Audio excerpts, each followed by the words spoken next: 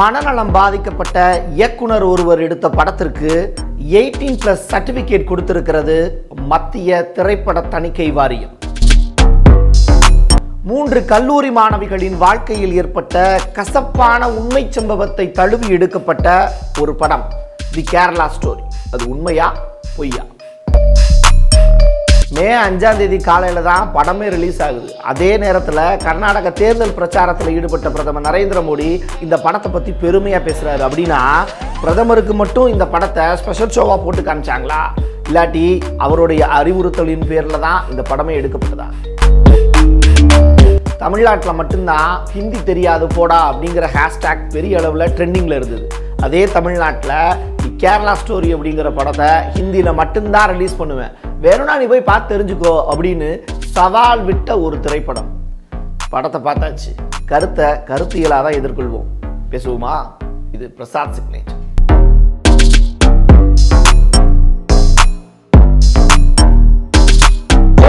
the Kerala story சர்ச்சைக்குரிய ஒரு படம். அதனால் தமிழக டிஜிபியே நேரடியாக படம் ரிலீஸ் ஆகக்கூடிய தேட்டர்கள் எல்லாத்துக்குமே போலீஸார் பாதுகாப்பு.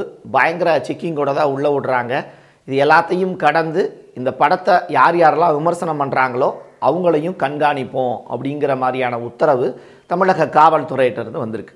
ஒரு படத்தை எடுக்கிறாங்க அதுக்கு அனுமதி கொடுக்குறாங்க. அதுக்கப்புறம் மத்திய தணிக்கை வாரியத்துக்கிட்ட நேரடியாக அந்த படம் போகுது திரைப்பட தணிக்கை வாரியத்துக்கிட்ட. அவங்களும் அதை பார்க்குறாங்க. பார்த்து முடிச்சதுக்கப்புறம் அந்த படத்துக்கு ஏ சர்டிஃபிகேட் கொடுத்து ரிலீஸ் பண்ணுறலான்னு சொல்கிறாங்க படத்தில் பெரிய அளவில் சர்ச்சைக்குரிய காட்சிகள்லாம் இருக்குது அது உண்மையாக பொய்யான்னு தெரியல அப்படின்னு சொல்லிட்டு பல்வேறு தரப்பினர் கோரிக்கை வைக்கும்போது இது ஜனநாயக நாடு இதை பார்க்குறதுக்கு மக்களுக்கு உரிமை இருக்குது எடுக்கிறதுக்கு உரிமை இருக்கிற மாதிரி பார்க்குறதுக்கு மக்களுக்கு உரிமை இருக்குது கருத்தை கருத்தையெல்லாம் எதிர்கொள்ளுங்க அப்படின்னு நீதிமன்றமும் இந்த படத்துக்கு தடை விதிக்க மறுத்து படம் ரிலீஸ் ஆகுது. ஓகேவா? அப்படின்னா இந்த படத்தை பார்க்குறதுக்கு ஒருத்தருக்கு எந்த அளவுக்கு ரைட்ஸ் இருக்கோ எடுக்கிறதுக்கு ஒருத்தருக்கு ரைட்ஸ் இருக்கோ எயிட்டீன் ப்ளஸ் அப்படின்னு சொல்கிறதுக்கு ரைட்ஸ் இருக்கோ அதே மாதிரி இந்த படத்தை பார்த்தவன் அப்படிங்கிற அடிப்படையில் இரநூறுபா செலவு பண்ணோம் அப்படிங்கிற அடிப்படையில் இந்த ஜனநாயக நாட்டில் இந்த படத்தை பற்றி விமர்சனம் பண்ணுறதுக்கு நமக்கு உரிமை இருக்குல்ல. அந்த வகையில் இந்த படத்துக்கு தமிழ்நாட்டில் ரிலீஸே பண்ணியிருக்கக்கூடாது அப்படின்னு சில பேர் சொல்கிறாங்க நீ எடு படம் எடு நம்ம பேசுவோம். தமிழ்நாட்டில் மட்டும் இந்த படம் பதற்றத்தின் அடிப்படையில் நிறையா தேட்டர்களில் திரையிடப்படலை. இது தமிழக அரசு எடுத்த முடிவு தமிழக காவல்துறை எடுத்த முடிவு. அந்த அடிப்படையில் சென்னையில் பதிமூணு தேட்டரில் ரிலீஸ் ஆயிருக்கு கோயம்புத்தூரில் மூணு தேட்டரில் ரிலீஸ் ஆயிருக்கு சேலத்தில் ஒரு தேட்டர் வேலூரில் ரெண்டு தேட்டர் அப்படின்னு சொல்லிட்டு ரிலீஸ் ஆயிருக்கு. உள்ளே என்ட்ராகும் போதே பயங்கர செக்கப் தான். இப்படி ஒரு திரைப்படத்துக்கு ஒரு உள்ளே என்ட்ராகும் போது இவ்வளோ செக்கப் நடந்த ஒரு அனுபவத்தை நான் இது வரைக்கும் சந்தித்ததே இல்லை. ரெண்டாவது போய் பார்க்கணும் அப்படின்னு சொல்லிட்டு ஆன்லைனில் புக் பண்ணும்போது சென்னையில் நிறையா தேட்டர்களில் இல்லை. ரெண்டாவது தமிழில் வந்து படம் வந்து எந்த படம் எந்த தேட்டரில் வந்து இருக்குது அப்படின்னு சொல்லி தேடும்போது ஏன்னா தமிழ் தெலுங்கு ஹிந்தி மலையாளம் உள்ளிட்ட நான்கு மொழிகளில் இந்த படத்தை ரிலீஸ் பண்ணுறதா சொல்லியிருந்தாங்க. ஆனால் தமிழ்நாடு தேட்டர்களில் வந்து ஹிந்தியில் மட்டும்தான் இதை ரிலீஸ் பண்ணியிருக்காங்க. இது ரொம்ப உள்நோக்கம் உள்ள ஒரு அரசியல். ரெண்டாவது எப்போ இந்த படத்தை இது வெறுமன படமாக மட்டும் பார்க்கலாமா அப்படின்னு கேட்டிங்கன்னா நாட்டினுடைய பிரதமராக இருக்கக்கூடிய நரேந்திரரே நேரடியாக கர்நாடக தேர்தல் பிரச்சாரத்தில் டைரெக்டாக இந்த படத்தை பற்றி பேசியிருக்காருன்னா இந்த படம் எவ்வளோ முக்கியத்துவம் வாய்ந்தது? அப்போது இந்த படத்துக்குள்ளே திரைப்படம்ங்கிறத தாண்டி அரசியல் கலந்துருச்சுங்கிறது தான் யதார்த்தமான உண்மை. அப்போ இங்கே அரசியலும் பேச வேண்டிய தேவை இருக்குது ஏன்னா நம்மளால் தேர்ந்தெடுக்கப்பட்ட ஒருத்தர் வந்து பொது மேடையில் அவ்வளோ மக்கள் முன்னாடி இந்த படத்தை பற்றி பேசுகிறாருன்னா நம்மளும் மக்கள்கிட்ட இதை பற்றி பேசணும்ல. அது ரொம்ப முக்கியமானதுல்ல. அதுதானே ஜனநாயகம். அதன் அடிப்படையில் இந்த படம் வந்து ரிலீஸ் பண்ணியிருக்காங்க. அதுவும் கர்நாடக சட்டப்பேரவை தேர்தல் நடக்கிறதுக்கு அஞ்சு நாளைக்கு முன்னாடி. தி காஷ்மீர் ஃபைல்ஸ் அப்படின்னு சொல்லிட்டு ஏற்கனவே ஒரு படத்தை டைரக்ட் பண்ணார்ல. அவர் தான் இந்த படத்துக்கான ப்ரொடியூசர் அப்படின்னு சொல்லப்படுது. இந்த படத்தினுடைய டேரக்டர் ஒருத்தர் ரைட்டா இவர் வந்து மேற்கு வங்கத்தை சேர்ந்தவர். இவர் இந்த படத்தை எடுத்திருக்கார். பெரிய பொருட்செலவில் இலங்கையை தாண்டி ஹிந்து ஹிந்துகுஸ் மலைப்பகுதிகள்லாம் பயணித்து அதுக்கப்புறம் ஈரானு அதுக்கப்புறம் சிரியா இப்படி நாடுகளுக்கெல்லாம் கஷ்டப்பட்டு பயணப்பட்டு இவ்வளோ பொருட்செலவில் ஒரு படத்தை எடுக்கிறதுக்கான தேவை என்ன இருக்குது அப்படின்னா மக்களுக்கு இவங்க உண்மையான விஷயத்த சொல்ல போகிறாங்களா அப்படிங்கிற ஒரு கேள்வியும் இந்த படத்தில் அமைஞ்சிருக்கு.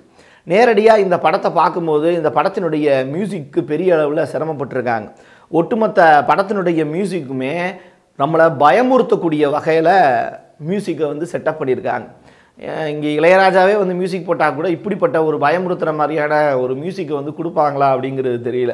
மியூசிக்லேயே ஒரு கோரமான ஒரு மியூசிக்காக இருக்குது அது மட்டும் இல்லாமல் ரொம்ப மென்மையான கதாபாத்திரங்களை காமிச்சிக்கிட்டு அதுக்கப்புறம் அப்படியே வந்து வேற ஒரு மதத்தை தழுவும் போது அவங்கள ரொம்ப ஆக்ரோஷமாக காமிக்கக்கூடிய அந்த கோர முகத்தை காட்சிப்படுத்துகிற இயக்குனர் வந்து எவ்வளோ பெரிய ஒரு சைக்கோத்தனமான மனநிலையில் இருக்கார் அப்படிங்கிறதையும் புரிஞ்சுக்க முடியுது.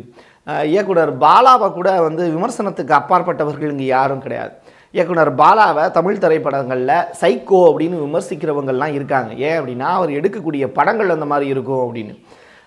ஆனால் பாலாவினுடைய சிம்ரனையே வந்து பார்த்திங்கன்னா இடுப்பை காட்டாமல் சிம்ரனை ஆட வச்சவர் தான் இயக்குனர் பாலா அப்படிங்கிற மாதிரியான பாலா மேலே ஒரு கண்ணியமான விஷயங்களையும் முன்வைக்கலாம். ஆனால் இந்த கேரளா ஸ்டோரியினுடைய படத்தை எடுத்தவருக்கு வந்து முழுக்க முழுக்க அவருடைய மனதில் இருக்கக்கூடிய வன்மத்தை கக்கக்கூடிய ஒரு படமாக தான் பார்க்க முடியுது. இந்த படத்தோட ஸ்டார்டிங்லேயே ஒரு பொண்ணை காமிக்கிறாங்க. அந்த பொண்ணினுடைய பேர் வந்து சாலினி உன்னிகிருஷ்ணன் அப்படின்னு காமிக்கிறாங்க. அவர் சிரியாவில் இருக்கக்கூடிய போலீஸ்ட்டை மாட்டுறாங்க.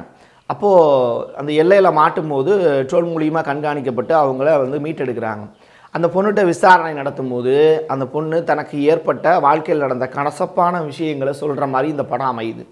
அதில் ரொம்ப முக்கியமான விஷயம் இது கேரளாவில் வந்து அந்த பொண்ணுங்க இருக்கிற மாதிரியான காட்சி அமைப்பு இருக்குது தான் மட்டும் இல்லை தன்னோட சேர்ந்து ஏற்கனவே ரெண்டு பெண்கள் பாதிக்கப்பட்டிருக்காங்க அப்படிங்கிறதையும் அவங்க அந்த ஃப்ளாஷ்பேக் சொல்லிக்கிட்டே இருக்காங்க.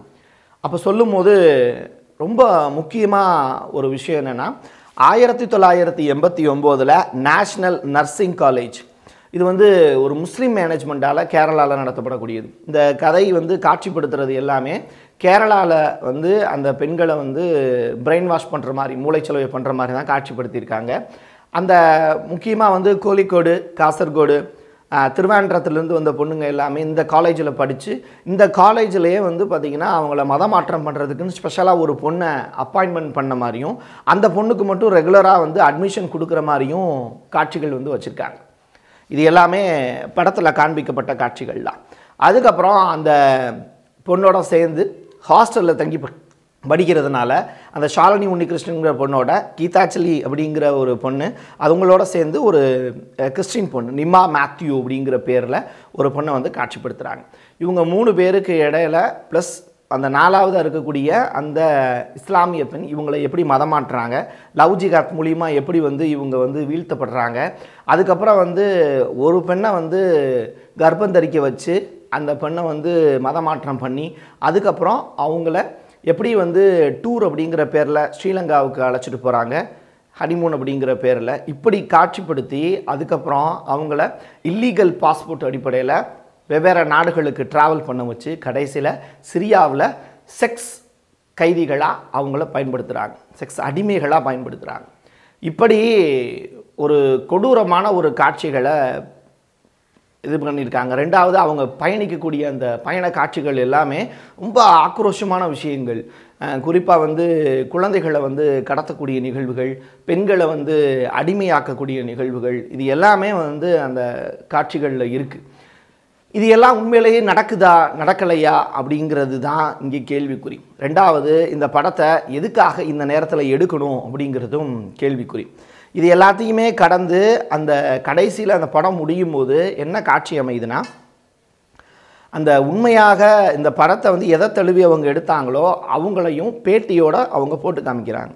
அதில் நிமிஷா அவங்களுடைய தாயார் வந்து ஏற்கனவே பல ஆண்டுகளுக்கு முன்னாடி மீடியாக்கிட்டேயே பேட்டி கொடுத்துருக்காங்க.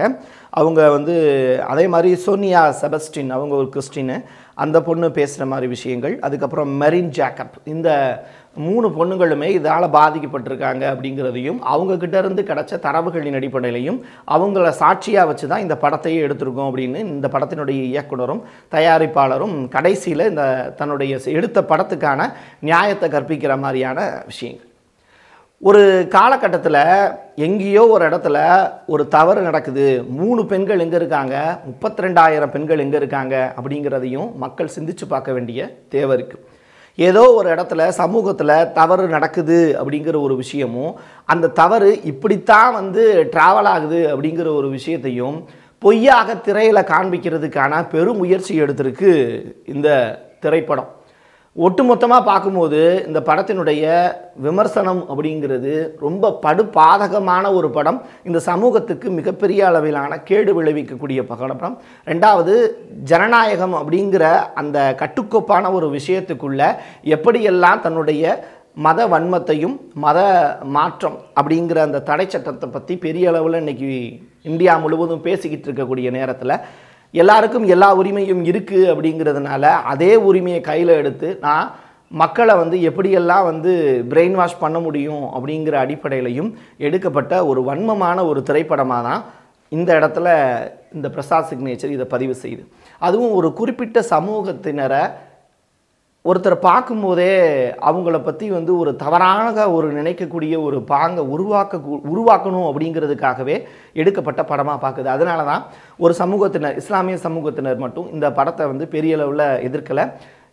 யார் யாரெல்லாம் இந்த சமூகத்துக்கு நல்லா இருக்கணும்னு நினைக்கிறாங்களோ அவங்க எல்லாமே இந்த படத்தை எதிர்க்கிறாங்க காரணம்னா இப்படிப்பட்ட திரைப்படம் எடுப்பதற்குள்ள உள்நோக்கம் இருக்குது இதில் அரசியல் இருக்குது மத்தியில் இருக்கக்கூடிய சனாதனம் அப்படிங்கிற ஒரு விஷயம் இன்னைக்கு நாட்டில் பெரிய அளவில் இஸ்லாமியர்களை வந்து ஒதுக்கி வச்சுட்டு மற்ற தேர்தல்களெல்லாம் சந்திக்கிறதுக்கு தயாராகிட்டு இருக்காங்க அப்படிங்கிறது தான் இதில் ரொம்ப முக்கியமான ஒரு விஷயமா பார்க்க என்னால் பார்க்க முடியுது.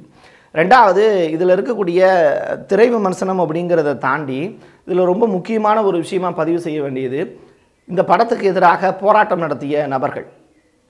இந்திய தேசிய லீக்கு அதுக்கப்புறம் வந்து பார்த்திங்கன்னா தமமுக அதுக்கப்புறம் எஸ்டிபிஐ கட்சியினர் இவங்க எல்லாமே சேர்ந்து போராட்டத்தில் ஈடுபட்டிருக்காங்க.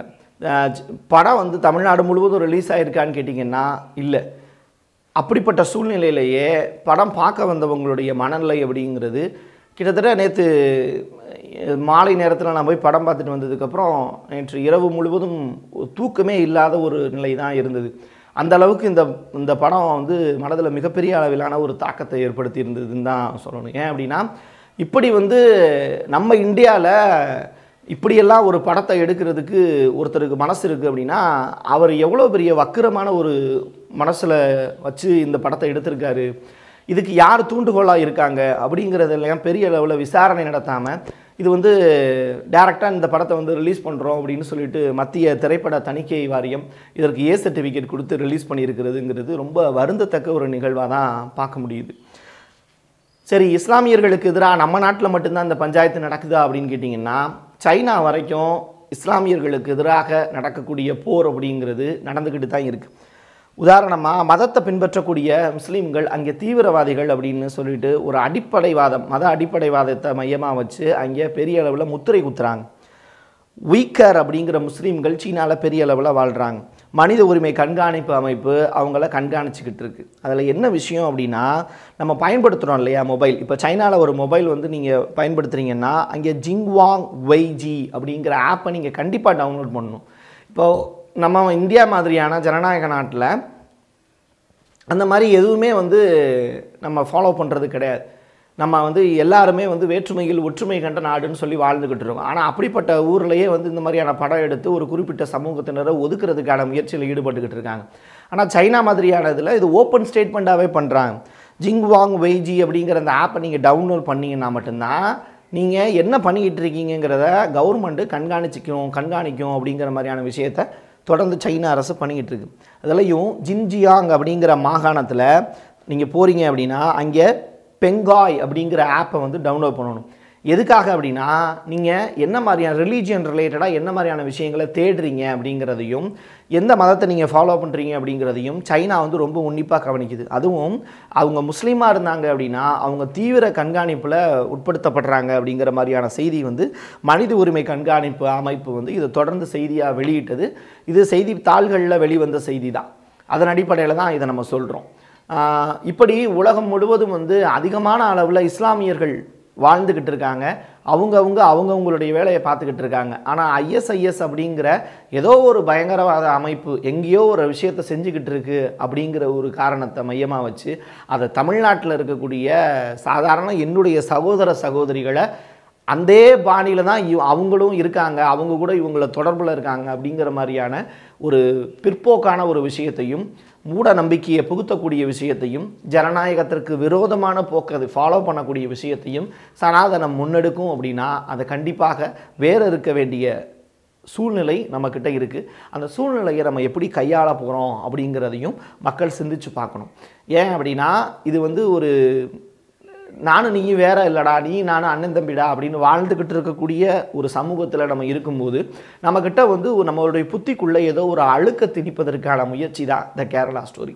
இந்த படத்தை தவிருங்க அப்படிங்கிறது நம்முடைய நோக்கம் இல்லை. இந்த படத்தை பார்த்து அதில் இருக்கக்கூடிய வன்மத்தை நீங்கள் புரிஞ்சுக்கணும் அப்படிங்கிறதும் ரொம்ப முக்கியமான ஒரு விஷயம். எவ்வளவோ நல்ல திரைப்படங்கள் நாட்டு மக்களுக்கு தேவையான விஷயங்கள் எஜுகேஷன் ரிலேட்டடான விஷயங்கள் சுயதொழில் வேலைவாய்ப்பு சம்மந்தமான விஷயங்கள் வாழ்க்கையில் ஒருத்தன் கஷ்டப்பட்டு எப்படி ஜெயிக்கிறான் அப்படிங்கிற மாதிரியான விஷயங்கள் எல்லாமே இந்த மாதிரியான நம்ம திரைப்படங்கள் மூலிமா வெளியில் வந்தது. அதுவும் நம்மளுடைய பாரம்பரியம் நம்முடைய கலாச்சாரம் பெருமைகள் எல்லாம் பேசக்கூடிய பொன்னியின் செல்வன் மாதிரியான திரைப்படங்கள் ஏகப்பட்ட நல்ல விஷயங்கள் வெளியில் வந்துக்கிட்டு இருக்கும்போது நம்முடைய வரலாறையும் பாரம்பரியம் தெரிஞ்சுக்கிட்டு அதை அடுத்த தலைமுறைக்கு கடத்தக்கூடிய வேலையை செய்யாமல் பிற்போக்கான ஒரு விஷயத்தை இந்த மக்களுடைய மனசில் விதைச்சு அதன் மூலியமாக அரசியல் காய்களை தனக்கு சாதகமாக மாற்றிக்கிறதுக்கான அரசியல்வாதிகளுடைய முயற்சி தான் இந்த கேரளா ஸ்டோரி.